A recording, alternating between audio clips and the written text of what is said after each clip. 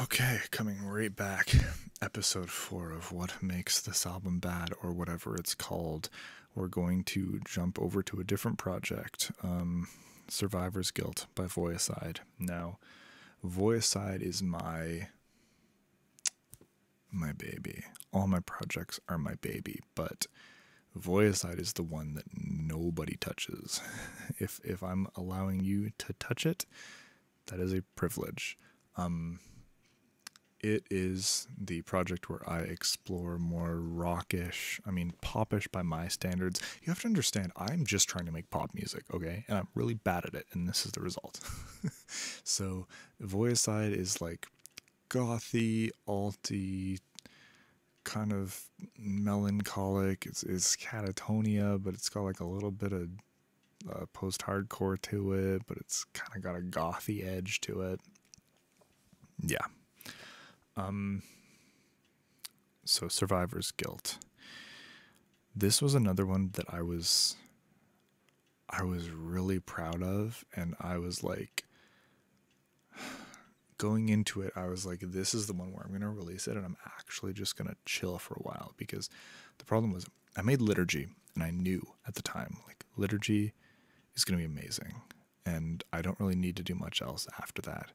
And then I had a couple of ideas for what ended up becoming For the Days Lost. And it's not like I regret making that, but For the Days Lost was such a game changer, especially um, so far from the light. From a production and writing standpoint, to this day, I don't know how I did that. And it's going to be really fun to talk about that one. But as a follow up, Survivor's Guilt was kind of weird because I was trying to make songs that had nuance and had emotional impact, but were still coherent and concise. I was really trying to just like laser focus the sound and like cut away all of the fat and just like, okay, if I just want to show a project to somebody who doesn't know what I do, I want it to be this album. I want to make sure that every chorus hits hard and that the songs are memorable, that the vocal performances are bang on, and that it sounds like a real band, I guess. And the thing about this album that haunts me more than anything else is that I think I just failed to achieve that think that's what it really comes down to is like the songs really aren't that memorable and that sucks because i was actually trying and usually i'm not trying that. Um curator has a memorable chorus. Multiple people have told me that. That's awesome. That's good. Um but it's like okay without looking there's space between words which has a good chorus, but the build up is so boring that it's just kind of like, who cares by the time it gets there? Um, and the structure is too short to really get the your full the full meat of it. Curator, Save the Sorrow. That one I thought would be a banger, and I don't know. I don't know what's wrong with it. Something's wrong with it though. Um, I like it. I guess that's like, uh, do I like it? I don't know, man it, it didn't hit like I thought it did, man. Um, there was like, there's like push. That was a weird song, all in, and like I don't think that chorus is good. the The song as a as an exercise is fine. It's interesting. It's not very good. Um, oh right, the Loveless Lullaby featuring Fathom also, I mean, like, he's an amazing singer, and we had a lot of fun with the vocal arrangements, but that song also just it was the la- it was the last minute thing and it wasn't mixed super well and I ended up actually making a mix change after the album was out because it was that fucked up. Cuz I rushed it just cuz I was sick of the album. And that sucks. That song definitely haunts me. I think usually I skip it. Not because it's it's bad, but because I, I mixed it really bad and I just couldn't get the levels on that one. So like the, the levels of the instruments do sound noticeably off. And then Survivor's Guilt, the title track. That's a great song. That's like I don't know. I'm I'm really proud of that one because that has like that dark black metalish energy to it and there isn't really a chorus chorus but that fails at what my goal was of making a concise more or less contemporary thing that I can show people um yeah production wise with Voiicide stuff I really try to scale down. I, I don't try to make it modern. I try to make it sound warm and authentic and as real as it possibly can. Um, I I don't try to make the guitar tones sound contemporary or modern at all. I make them sound the way I want them to, um, which tends to be a Marshall Silver Jubilee for whatever reason. I really like the sound of that amp. I don't even want to like it, I just do. Sometimes a 5150, but yeah, and and pickiness with cabs, you know. Um, the production on it was a little more squished and a little more scooped than For the Days Lost.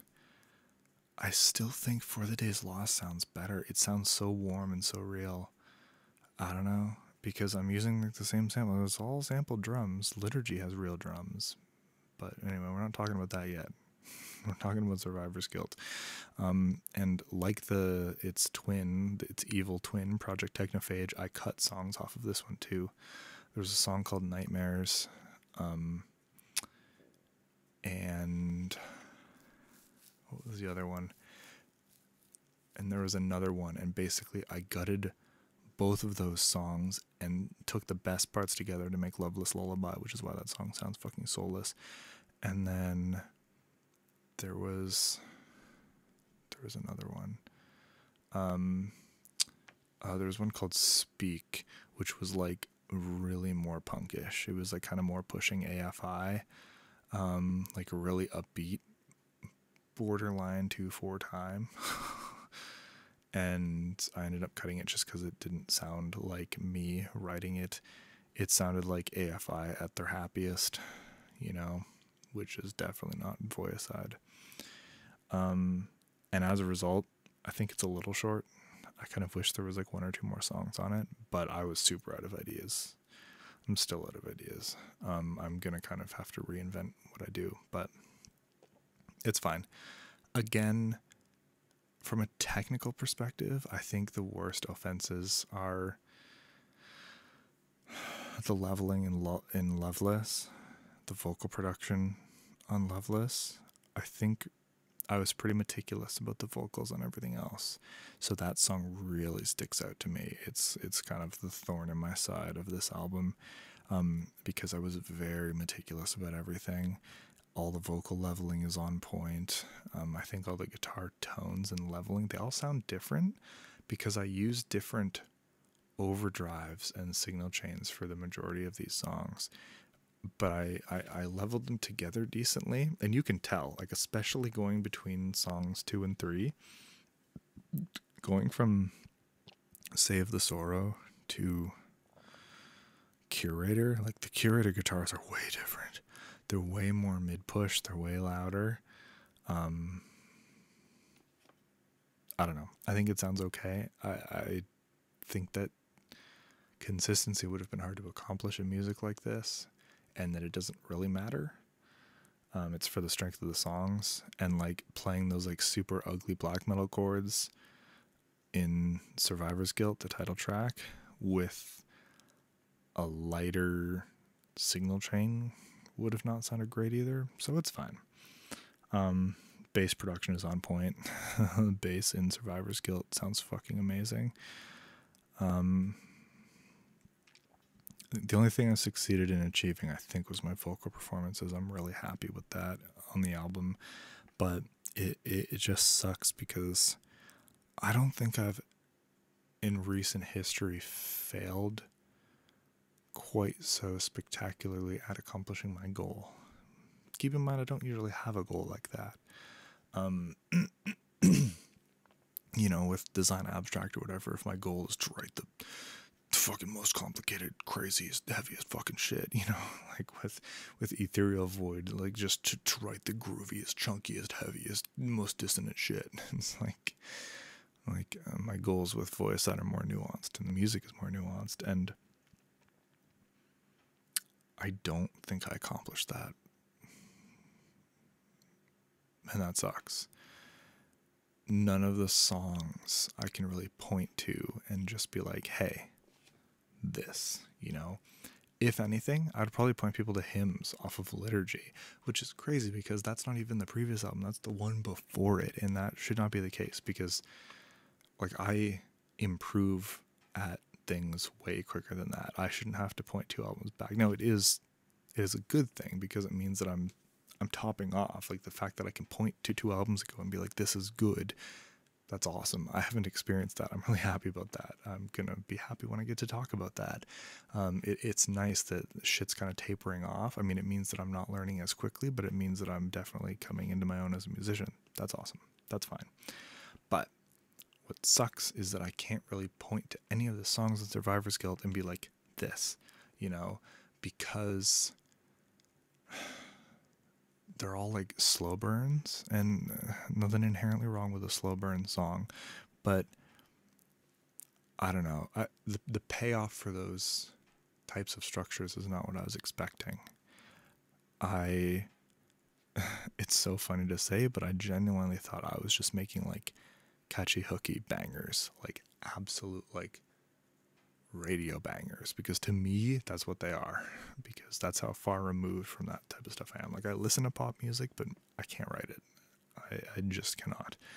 So yeah, it's a it's a bit of a long one because Voice is a really interesting project because I really really pour everything into it. Like all of the not giving a shit in Project Technophage is me giving a shit about Voice I'm I'm so meticulous about like every detail, you know. Um